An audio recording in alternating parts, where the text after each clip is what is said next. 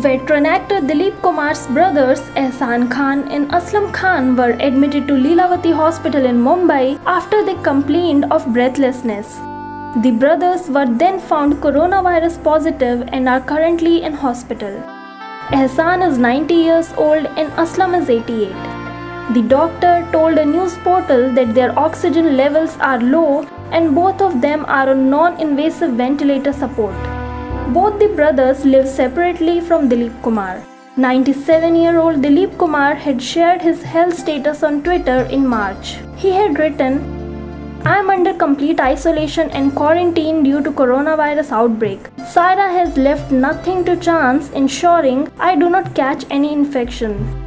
A month ago, Amitabh Bachchan, Abhishek Bachchan, Aishwarya Rai and Aradhya were found coronavirus positive.